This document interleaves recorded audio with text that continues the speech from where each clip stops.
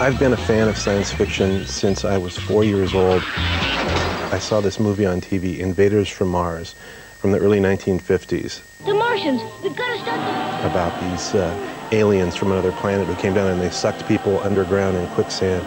And it scared me so much, I vowed that I was going to figure out a way of overcoming that fear. So to do Futurama now, after all these years as a grown-up, is very cathartic for me.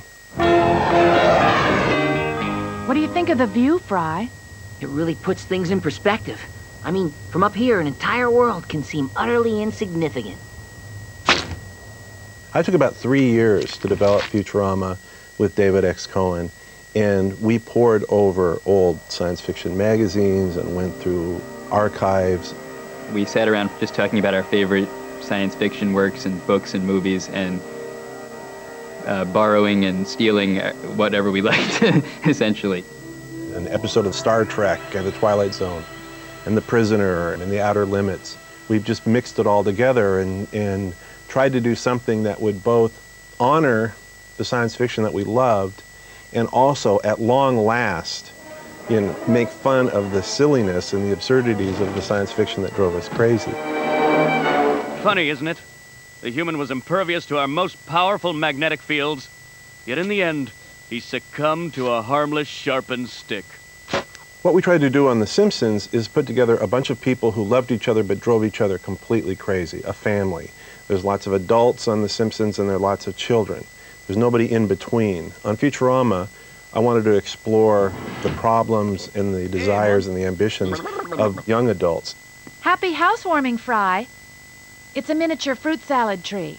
Hmm. So we're dealing with a bunch of people who are working together, trying to make a life, trying to find love, except we've set it in the future.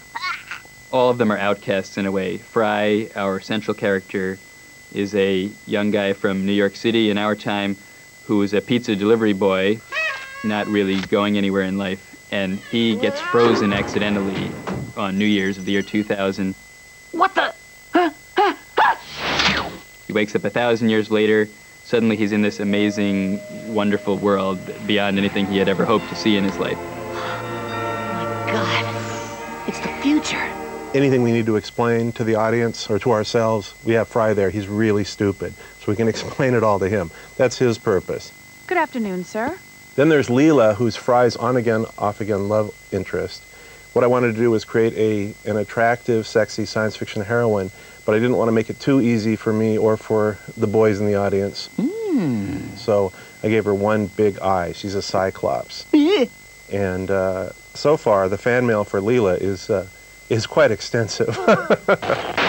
Fry's in trouble, and he needs help. Now, I don't like you, and you don't like me. I like you. You do? Bender the robot is probably the most popular character on the show. He's been mm. programmed to bend girders, but he doesn't want to bend girders. He'd rather be a oh. cook. Unfortunately, he has no taste buds. Listen, this is Bender's first meal, and he's a little sensitive. So let's be supportive, okay? All right. Yeah, okay. Oh, dear God!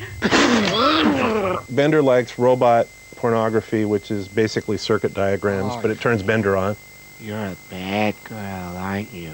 He also must drink in order to stay sober. Um, it's kind of a science fiction concept. it drives the censors crazy. Nah, I'm trying to watch my input. I need plenty of wholesome, nutritious alcohol. Futurama is designed to be an adult show. Kids like it, um, but the jokes and the stories and everything are aimed at a more mature audience. There is stuff about sex and romance and, and uh, other things that kids are either uh, not interested in or too interested in, depending on how you look at it. There's nudity on The Simpsons, but there are people you don't want to see naked. On Futurama, some of the people you actually do want to see naked. As long as I don't have to parallel park. Wow, if that doesn't get them to tune in, I don't know what will. This is where I brought my girlfriend on our very first date.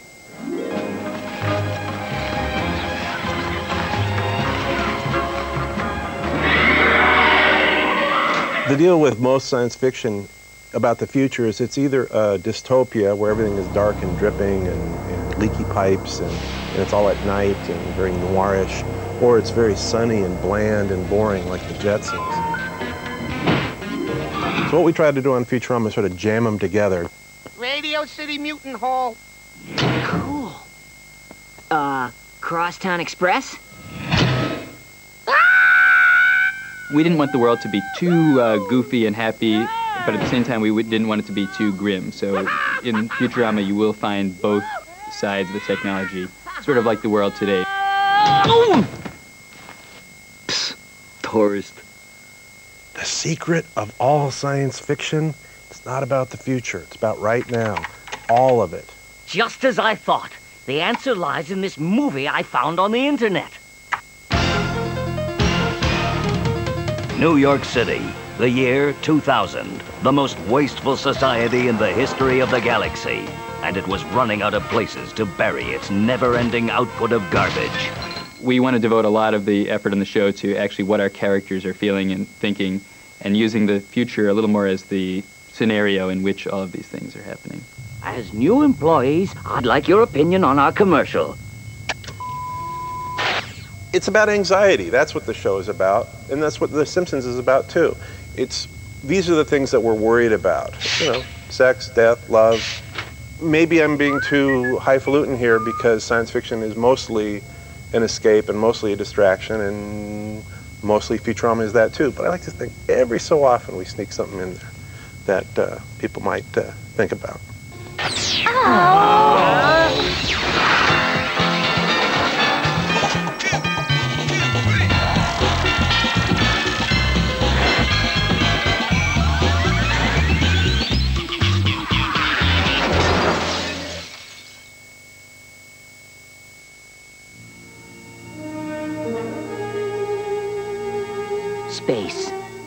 It seems to go on and on forever.